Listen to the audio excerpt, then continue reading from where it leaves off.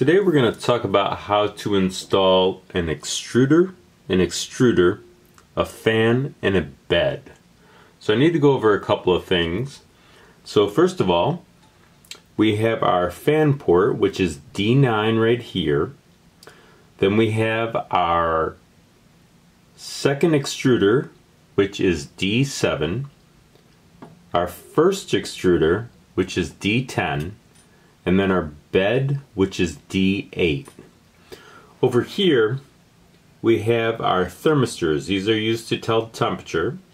So the first one over here is extruder 1. Then we have our bed. And then we have our second extruder. So to connect it, what we have to do is first we'll start with the fan. So we're going to use the notch connector on the fan and connect it to our fan port right here. Next, we're going to connect one of the extruders. So what we're going to do is we're going to connect to our port right here. And we're going to screw that down. Then we'll do the other side. Now, doesn't matter for plus and minus on these.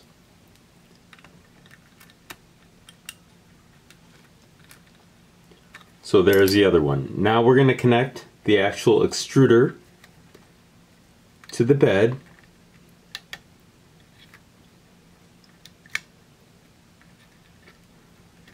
Now we're going to connect the next extruder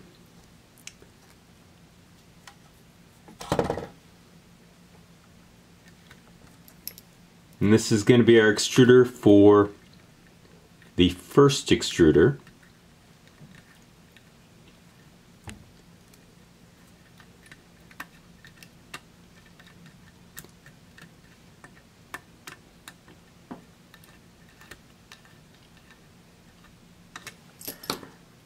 And we're going to connect the thermistor connector for that. Now polarity doesn't matter on this for plus or minus as well.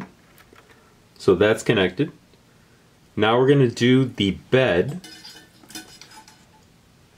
So first I'm going to connect the actual thermistor, which is the white port in the center. And finally, the two connectors for the bed. Keep in mind that polarity is well here for voltage is not a factor.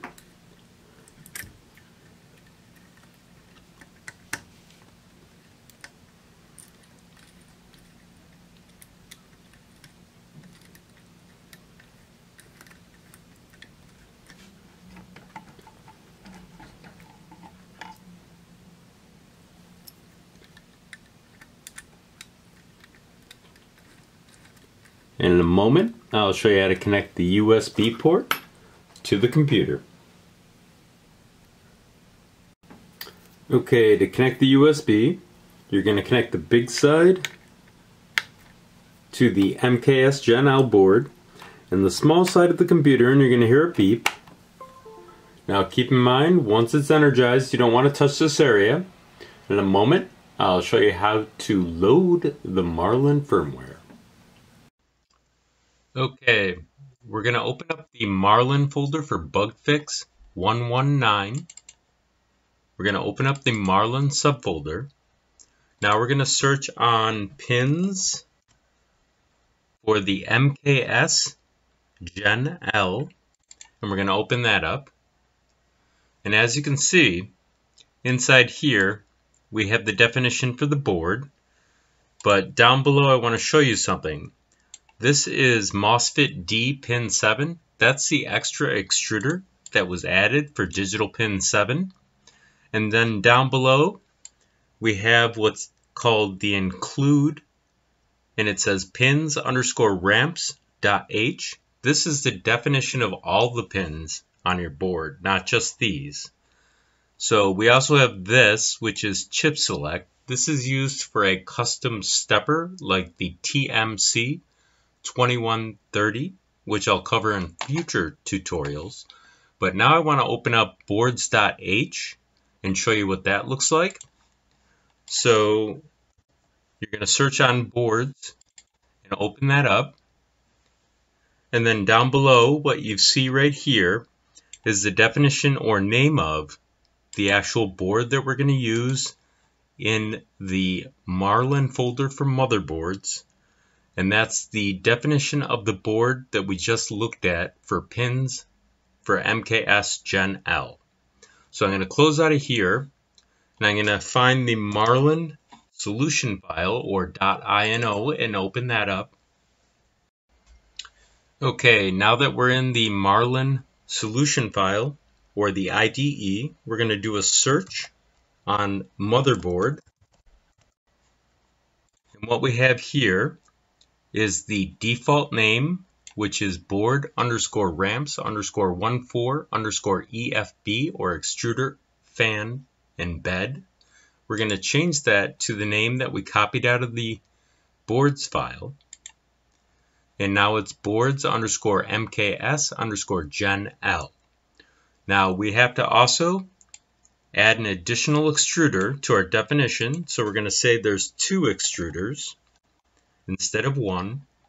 And then we have to change down below our thermistor type. Now what we have here are defined thermistor types. Now the default one is what most of you will use. If you have a custom one, then you can pick another number. But down below here, we have our first thermistor, which is already defined. But now we got to do the second one, and we're going to call that one as well. And then we also have to define our bed. So let's see if we can find that real quick. Whoop, here it is. So we're going to call that default one as well. And then there's thermal protect protections that are on by default. And remember to always watch your printer when it's active or energized with power. So the next thing we want to do is we want to select the board port number. And in this case, I believe it's on port 3, so we're good there. And then we want to select the actual board type, which in this case will be the Arduino Mega 2560. And so now we're going to compile and upload. And in a moment, I'll show you in Pronterface how we test it. Okay, before we can test it, we have to energize the actual power for the 12 volts. So I'm going to connect the power. I've connected the connectors over here already. So keep in mind that safety is paramount when we're doing this.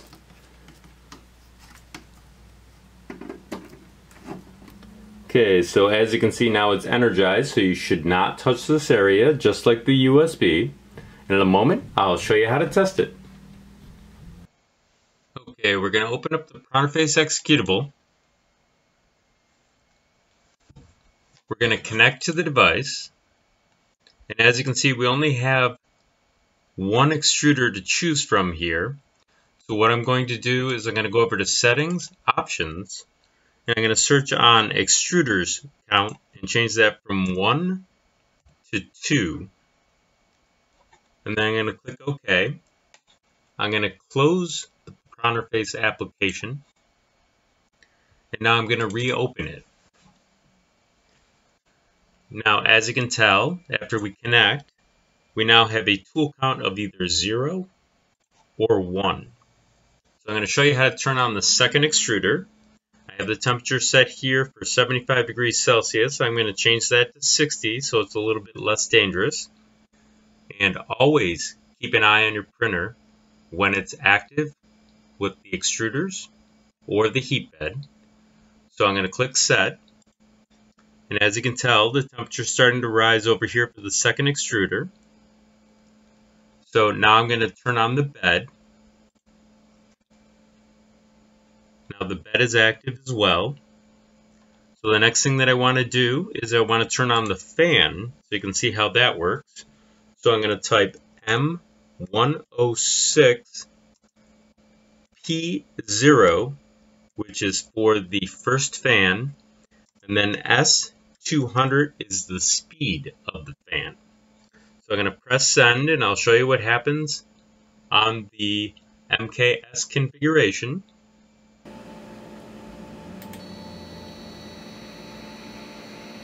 Okay, now that you see the fan is running, I'm going to turn the fan off. In this case, I'm going to take the speed to zero and press enter. And I'll show you in a moment what that looks like. So if you like my tutorial, please press the like button and subscribe and share all you like. Thank you very much for your time.